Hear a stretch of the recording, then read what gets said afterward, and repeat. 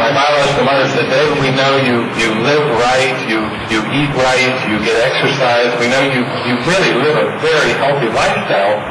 But she said that accidents do happen. And my biological father just shook his head and said, no, he doesn't even believe in accidents. And I don't.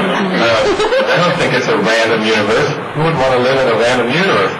And so I got into that state where I started to realize that it was my thinking, my judgmental thinking, that was unhealthy.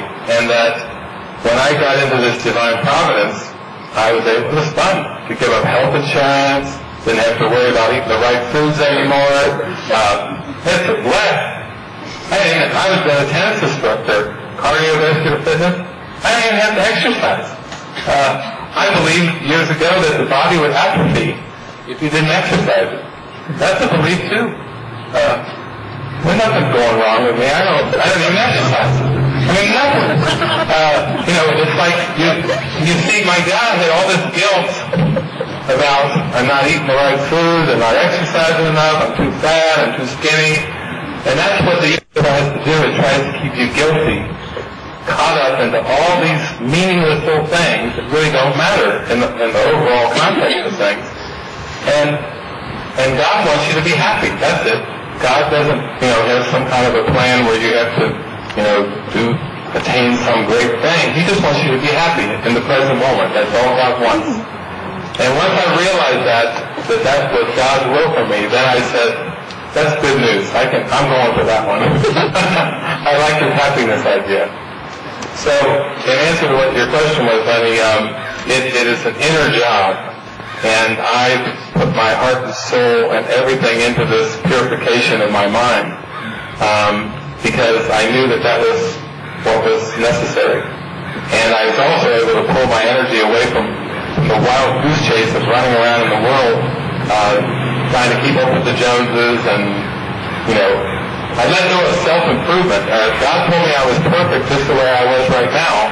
So I let go of even the concept of, of self-improvement or becoming uh, a spiritual person or becoming enlightened or becoming whatever.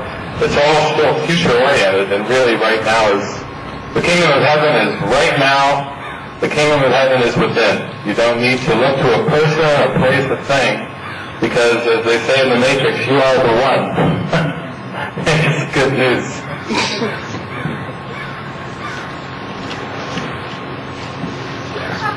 About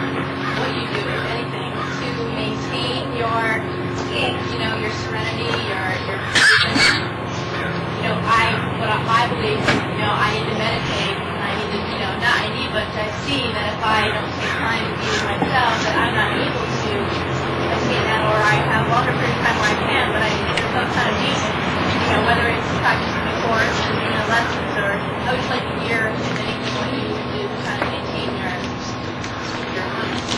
Yeah, that's a good question. Um, as you're approaching the, the period of enlightenment, those are all wonderful things to do, and I would recommend that. Uh, that it's, a, it's really a training or a discipline of your mind. That's what meditation is. Tai Chi, uh, uh, even diet exercise, diet disciplines, um, exercise disciplines, whatever uh, meditation practices. Those are all extremely valuable, and it's helping your mind learn to commit to that peace of mind.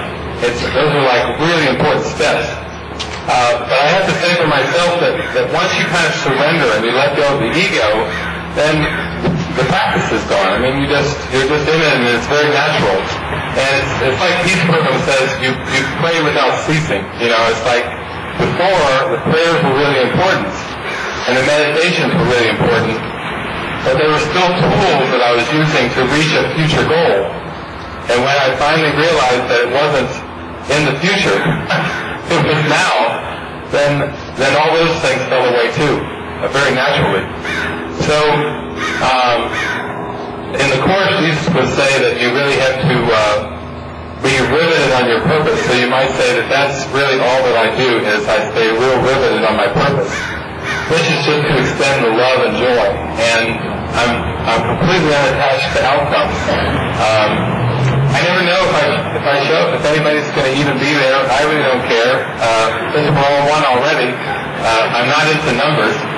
Uh, typically when I do gatherings, people are concerned about getting enough people there, and you know, I'll I say, oh, forget about it. You know, it's like like they say to the Italians, ah, forget about it, forget about it. You know, it's like why get concerned about numbers? Um, I'm happy to be wherever I seem to be, and I'm very content. So uh, that's in answer to your question. It's like staying riveted on your purpose and really waking up in the morning and and having that out front and holding it out front like a torch.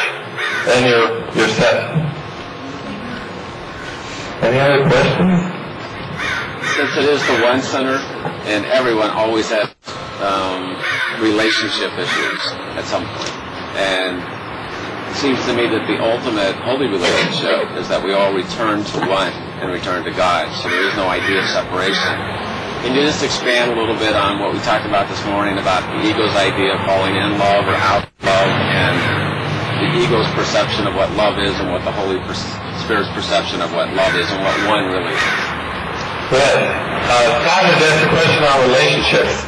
Um, in this world, relationships are mirrors. Uh, you should always be grateful for all your brothers and sisters around you because they're simply reflecting what you still are holding in your consciousness. And that's, they're held unconsciously. And you, you have no other way really to get in touch with them except when you see somebody and you're jump on them and scream at them, you, you got a clue that you've got something still in your consciousness that, that is uh, less than truthful. and so, uh, in order to come to the oneness, you really start to realize that that oneness is a is an interaction or a alignment with your source. And when you're aligned with your source, you are automatically aligned with everyone, with everyone and everything. So bringing relationships because um, a lot of the traditional spiritual paths, you know, go off to the Himalayas and get away from people, just meditate. Uh, what I, my path was, I had people around me a lot, and I did have my hermitage experiences, but I learned to use relationships to get in touch with what my own inner blocks were. Never to blame them, never to scapegoat, never to point the finger and say that they're the problem. When the Holy Spirit inside me kept saying, everywhere I went, all I heard was this one thing, uh, it's your own lesson, it's your own lesson, it's your own lesson.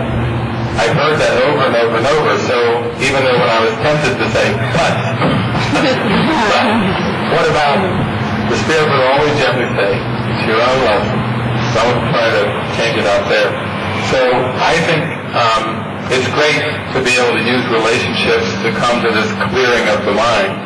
And um, we talk a lot about that. In fact, a lot of my tapes and CDs and writings are about relationships and, and coming to holy relationship, learning to let go of uh, special relationships and grievances and judgments, and learning to appreciate and love everyone.